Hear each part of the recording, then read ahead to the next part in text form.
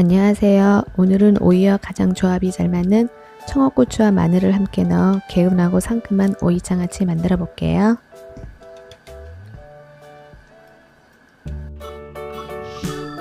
먼저 야채들은 모두 깨끗이 닦아 물기를 제거해 준비해 놓습니다.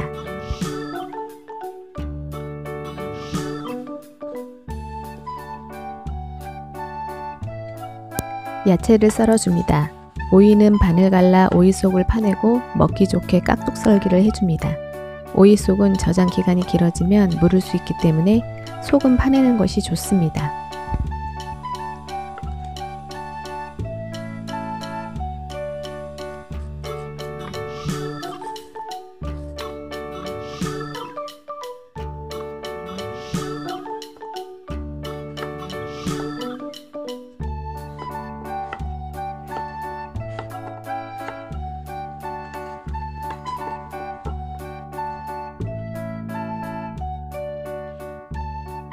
청양고추와 홍고추도 하나씩 집어먹기 편하도록 송송 썰어줍니다.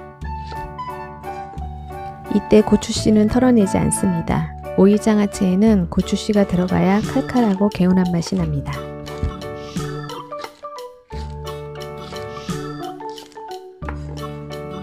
통마늘 중 몇 알은 간장물에 잘 우러나도록 편으로 썰어 준비해 놓습니다. 야채가 모두 준비되었으면 훌훌 섞어 놓습니다.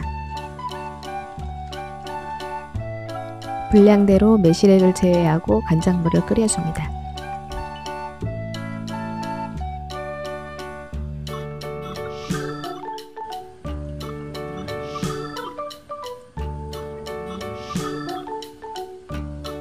간장물이 끓어오르면 불을 끄고 매실액을 넣어 섞어줍니다.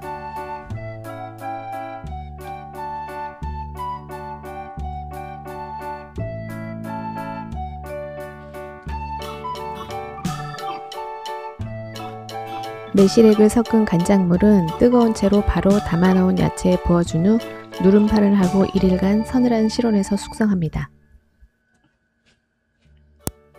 장아찌 숙성 후 많은 양의 장아찌라면 끓인 물을 한 번 더 해주는 것이 좋으나 소량의 장아찌라면 그 과정을 생략해도 좋습니다. 하루 실온 숙성 후 냉장 보관하고 3일 정도 돼서 고기와 곁들여 먹으면 개운한 오이장아찌 완성입니다.